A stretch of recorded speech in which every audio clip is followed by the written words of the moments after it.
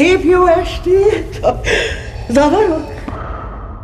Ah, le se teszem a kabátom. Csak egy pillanatra ugrottam föl. Na szóval, ez a Kerei Gusztáv azt akarja, hogy az év végét töltsük együtt valahol. Szerintem ez fölháborító. Ha, mit szólna a világ? Különben sem tudom, hova akar vinni. Szép az a hely, kényelmes, ki tudom én azt fizetni. Nagy szükségem lenne egy kis kikapcsolódásra, szabadulni a millió gondomtól. Mondtam, milyen vitám van a mellettem lakóval? Elmesélem. Úgy kezdődött, hogy nem volt otthon tejföl. Pedig rakott burgonyát készítettem. Oh, a kedvencemet. Miért is kezdtem ezt most mesélni?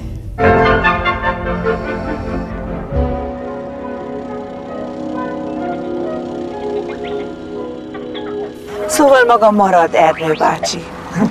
Igen, a Hartai úr alkalmaz, mint házfelügyelő. Pedig én szívesebben mentem volna művésznővel.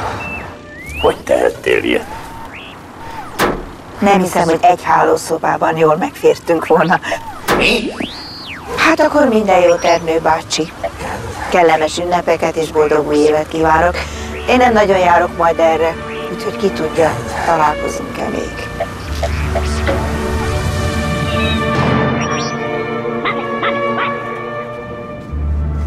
Hát tessék, igazán bőséges választék. Ezek Marácskának biztos, hogy megfelelnek, a többit ugye hát nem kell mondjam.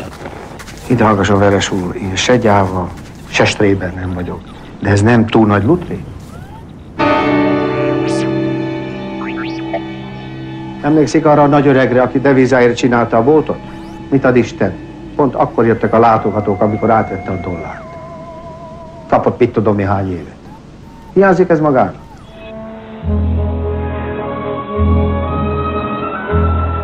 Végvilágon semmim sincs. Tanácshoz is hiába járok. Nem hoztak pénzt? Nincs segély?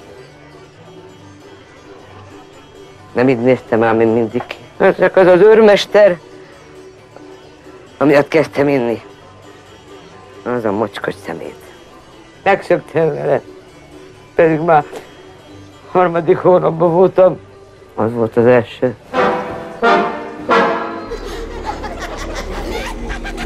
Most láttam, mi is volt a neve.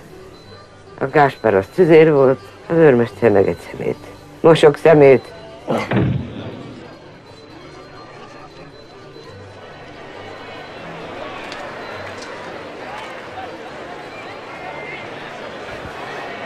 Törcsél. Te kocsival vagy? Gyalog vagyok és Magdival. Igazán? Ne reménykedj, főpilóta nem vagy az esetem. Akkor leiszom magam bánatomban, kérek szépen bort. Üresek a poharak. A zsírszaktól mindig émegni kezd a gyomrom. Tényleg csak ezért iszom egy kortyot, parancsol a művésznő?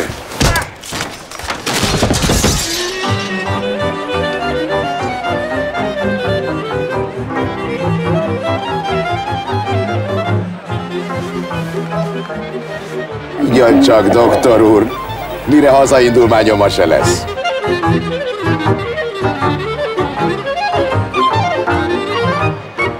Én ezt az egészet nem értem. Előbb éjszakon bős nagymaros. Most délen világkiállítás. Miből? Mit hoz ez? Maga érti? Utána nézhetek. Nagyon hirtelennek tűnik ez az egész nagy szervezkedés. Ez a békés átmenet úgy látszik egyre nehezebb és nehezebb lesz. Gondolod, hogy a választás után más lehet?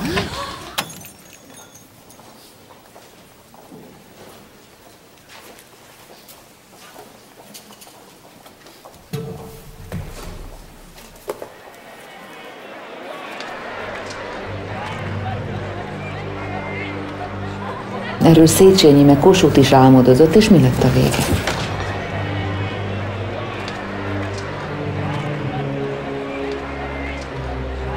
Gyűlés volt. Állampolgári gyűlés.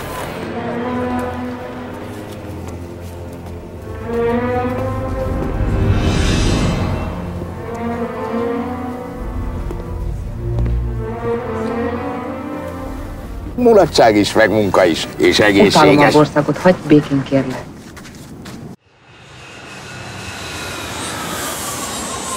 Szóval? És a beteg akkor apa nem fogadja? Mellesleg tényleg az. Hagyott otthon egy üzenetet, hogy mondja meg a meghívásunkat, mert felmegy és megmutatja. Menjen nyugodtan haza, Marian. A családi vita már igazán nincs benne a munkaidejében. Őrizze itt a standard, drága művésznő. Egy pillanat is visszajövök. Ha vevő jön, adjon el mindent.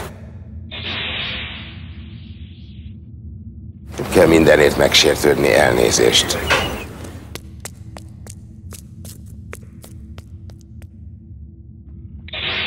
Nekem nem kell bemutatni, nekem naponta csinálja a cirkuszt. Nem tudom, jövőre találkozunk-e még.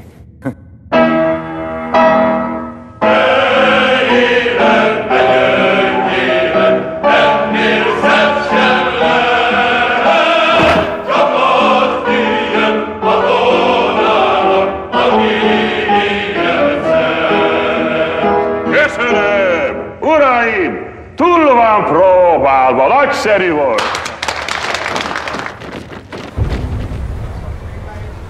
Minden baj. Otthon folyton morognak egymással. Angolul beszélnek, hogy én ne értsem. You're a funny little boy. How do you know so much?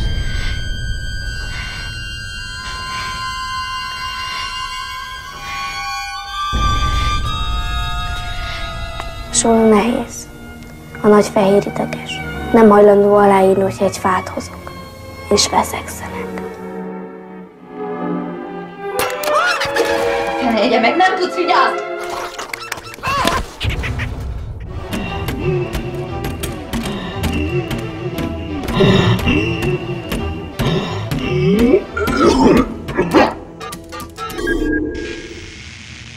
Szabad kérdeznem, mit jelent ez az idézés százados úr? Újabb kihallgatás és újabb kudarc a betörés ügyében. Akkor szíveskedjék megtekinteni ezeket a tárgyakat is. Kérem válassza ki azokat, amik feltételezése szerint az ön lakásából tűntek el. Fantasztikus! Na hát, ha nem lennék nyugdíjba, most meghívnám százados urat az operába. Na de sajnos már... Éveken át hallgatom a művész urat a barzatról. Tagjátos elmond, Bajazó, Hári János, sorolja. Ne mondja!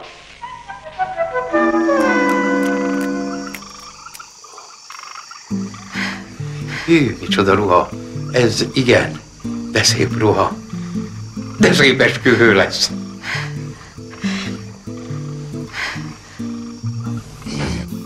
Köszönöm, ez jól jön. Ez csak egy kis figyelem, mondhatni semmiség.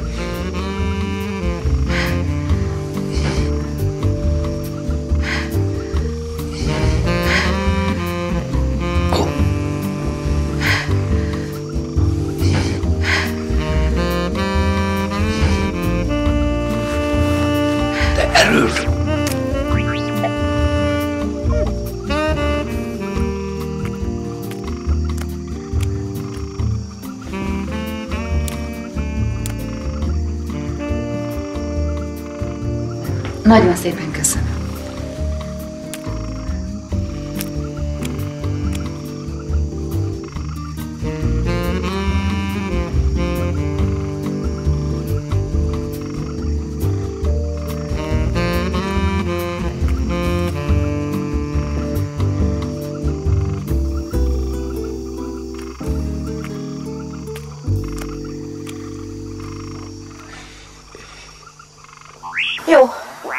Beszéljünk másról.